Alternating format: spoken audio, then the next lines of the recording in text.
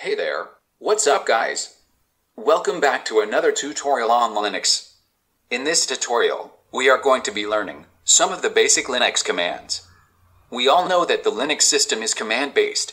This is not the case with Windows, which is GUI-based. Throughout this tutorial, we can talk about how the shell uses the path variable to locate commands, external and internal commands, breakup of a command into its arguments and options, the use of the man command. Okay, let's begin. Did you notice that the Unix commands are single words, like cat, ls, who, and so on? We all know that the Linux file system is case sensitive. The uppercase ls and lowercase ls has a different meaning in Linux. For instance, if you enter uppercase ls instead of lowercase, this is how the system will respond. This message is from the shell. There is obviously no command named uppercase ls on the Linux system. These commands are essentially files containing programs, mainly written in C. These files are stored in certain directories. For instance, the ls command is a file to be found in the directory bin. The easiest way of knowing the location of an executable program is to use the type command. When you execute the date command, the shell locates this file in the user slash bin directory and makes the arrangement to execute it.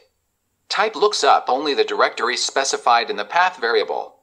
Let's echo the path variable. The path variable is nothing but a sequence of directories that the shell searches for a command. You can see that the directories are separated by colons. Note that this list also includes the current directory. Here it's the first one. Sometimes it just displays single dot to represents the current directory. In Unix, there are two kinds of commands external commands and internal commands. Take a look at the date command. Date is a program or file having independent existence in the user slash bin directory. It is branded as an external command, whereas internal commands are shell built in commands. Take, for instance, the echo command. Echo isn't an external command in the sense that, when you type echo, the shell won't look in its path to locate it. Rather, it will execute it from its own set of built-in commands, because internal commands have more priority than the external commands. You can see the full list of shell built-in commands by typing help. The argument prefix with a hyphen is a special argument known as an option. You can pass any number of option with a single hyphen.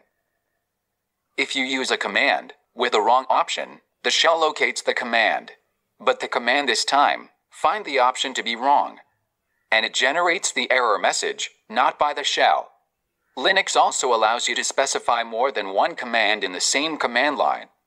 In such a case, each command has to be separated from the other by a semicolon. When a command line contains a semicolon, the shell understands that the command on each side of it needs to be processed separately. The semicolon here is known as a meta character. There are several meta characters that has special meaning to the shell. When you learn to redirect the output of these commands, you may even group them together within parentheses. The combined output of the command now sends to the file. A command line can overflow, or can be split into multiple lines. Some commands have a lengthy syntax, and you may often find it desirable to split the command into multiple lines. Take a look at the echo command.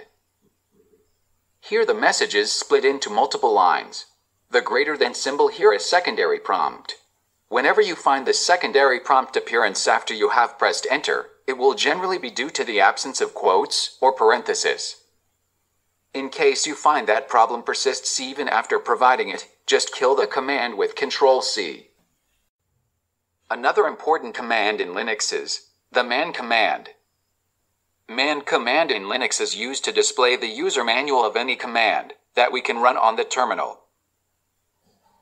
You can use the apropos command to find out the command and files associated with the keyword. For example, if you don't know the command for the calculator, you can use the apropos command to search. The apropos command is useful while searching for commands without knowing their exact names. Whatis command in Linux is used to get a one-line manual page description. This command is useful when you want to know the purpose of command in one line. Alright, I think we have learned a lot of useful commands in this section. If you have any questions, please post on the comments section. If you enjoyed my video or learned anything, don't forget to subscribe to my channel. Thanks for watching.